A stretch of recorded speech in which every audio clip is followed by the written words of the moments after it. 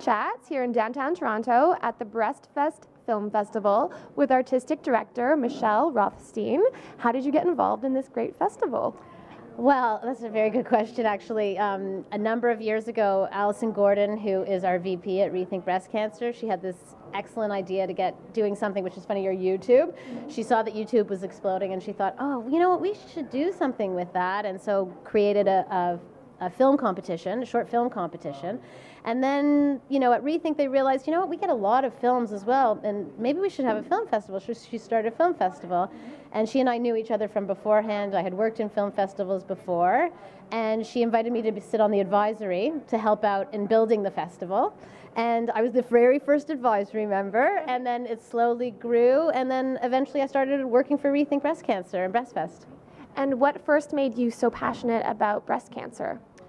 Well, I, I, when I worked in film festivals, um, I had a mentor and very close friend named Deborah Plotkin, and she was the artistic director of the Jewish Film Festival. And when I was very young, I worked with her, and she and I stayed very, very close. And then, unfortunately, she passed away from breast cancer in her early 40s. And it was very, very different for her, her experience as a young woman with breast cancer. And then I knew Allison and I knew of the organization Rethink Breast Cancer and the amazing work that they do with younger women with breast cancer. And it just, it was kind of one of those things where I thought, what do I do? I want to do something about breast cancer. I want to get involved in one way. And then when there was the intersection of film and breast cancer, I thought, okay, this is perfect. This is exactly where I'm supposed to be.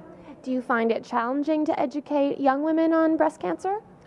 Oh, that's a very good question. Well, on, on the larger level, that would be like our support and, and programs department who does a lot of that straight on education and creating awareness. But as an organization, I guess we all do it in some way or another, and Breastfest is one way that we do it. And I think, I don't want to say it's an easy way because sometimes the films can be quite challenging, but because we are such a visual culture and image based culture, putting things up on screen for people to absorb and to absorb subject matter that they may not be as open to or familiar with, I think is more digestible. So I think some areas of our organization is probably more challenging, but in my area, it's it's you know it's a festival, so it gets to be you know like I said, uh, challenging, but people absorb it easier because film just creates such a wider audience. And you also have comedians and speakers. Can you tell me a little bit about the exciting live events that you have going on? Sure. Um, well, Saturday night, November the 3rd at 8 p.m. at the Bloor Hot Docs Cinema, we have Tits and Sass, which is an evening of comedy benefiting Rethink Breast Cancer, and it's our fundraiser and uh, the money goes right back into our support and education programs at Rethink Breast Cancer.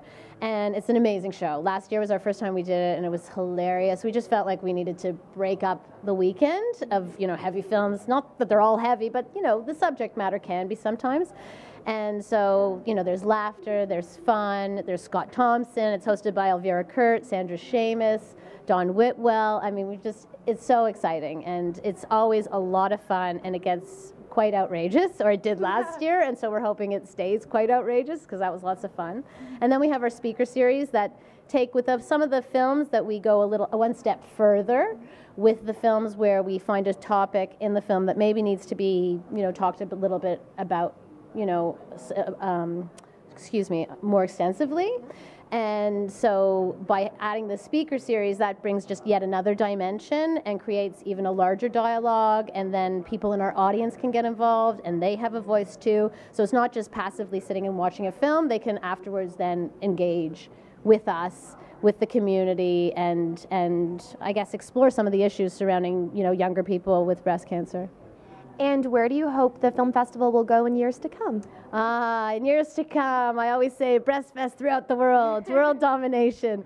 I'd like to see it in every country. I think it's great. I think I think using film as a way to educate and bring people together and engage in dialogue is amazing. I think we've now been doing you know, engaged in film as a society for, you know, a century now, and I think it shows that it really is an interesting way of drawing people together. And I think you know, other cultures, other countries, everyone could benefit from it because it really is an easy way to digest material. And I think some other countries don't want to talk about it. Even even in Canada, some people don't want to talk about the realities of young women with breast cancer. So it, it really is a great way of bringing new voices into the cause. And where is the best place to find out more information on Breast Fest online? Ah, okay. So it's uh, breastfestfilmfest.com or rethinkbreastcancer.com. And we have a couple of Twitter accounts. We have at Rethink Tweet and we have at BreastFestFilm. So any of those ways, and then you can come down to the Bloor Hot Docs Cinema at uh, 506 Bloor Street West and buy tickets at the door.